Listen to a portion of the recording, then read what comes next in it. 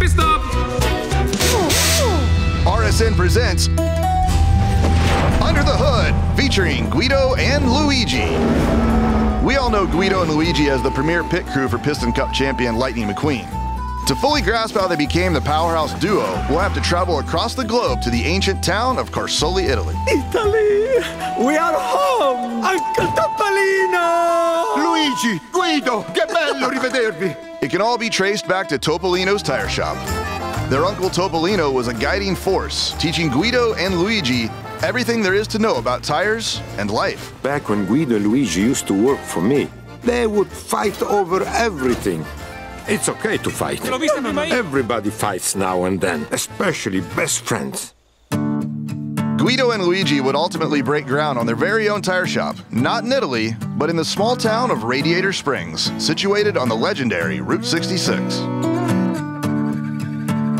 Their Italian style and flair mixed with an eye for detail was their key to success. As the tire business was bouncing along, they felt on top of the world. But when the interstate was built, they seemed to hit a dead end. Overnight, customers bypassed Radiator Springs.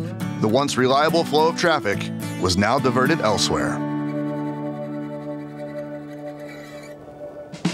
Most businesses left town to find other opportunities, but a faithful few, Guido and Luigi included, held out hope for better times.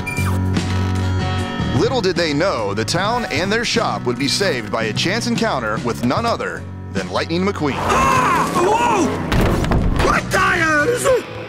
What tires? He would ultimately bring together Guido and Luigi's two loves, tires and racing. All they needed now was an opportunity to prove themselves on the track. Guido, it's time. With the whole world looking on and the pressure as high as it can be, they did not disappoint.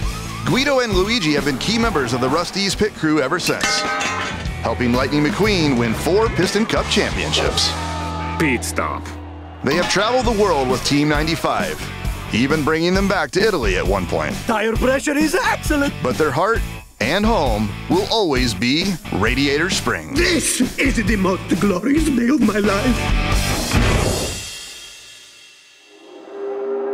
Coming up on Racing Sports Network.